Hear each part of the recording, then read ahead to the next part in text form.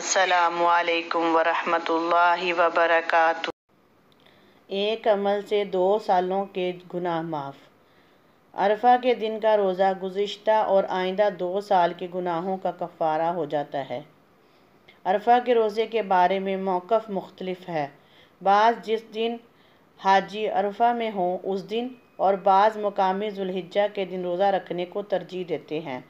پریشان ہونے کی ضرورت نہیں، جس بارے میں اطمینان ہو، اسی دن روزہ رکھا جا سکتا ہے۔ البتہ بہتر ہے کہ دونوں دن روزہ رکھ لیا جائے، بلکہ یہ پورا عشرہ ہی نہایت قیمتی ہے۔ اس عشرے میں کیا گیا عمل عام دنوں کے جہاد سے بھی افضل ہے۔ یوم عرفہ، جہنم سے رہائی پانے کا دن۔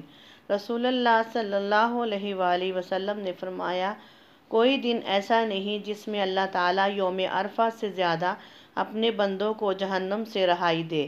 اللہ تعالیٰ ان کے قریب ہو جاتا ہے اور پھر فخر کے طور پر فرشتوں سے پوچھتا ہے کہ ان لوگوں کو میری رحمت و مغفرت کے سوا کیا چاہیے؟ یوم عرفہ کی دعا سب سے بہترین دعا۔ رسول اللہ صلی اللہ علیہ وآلہ وسلم نے فرمایا، سب سے بہتر دعا یوم عرفہ کی دعا ہے۔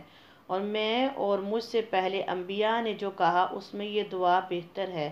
لا الہ الا اللہ وحدہ لا شریک لہ۔ لہ الملک و الحمد وہو علی کل شیء قدیر۔ اللہ تعالیٰ کا عرفہ والوں پر فخر کرنا۔ رسول اللہ صلی اللہ علیہ وآلہ وسلم نے فرمایا، بے شک اللہ عز و جل عرفہ کی شام اہل عرفہ کے ذریعے اپنے فرشتوں کے سامنے فخر فرماتا ہے۔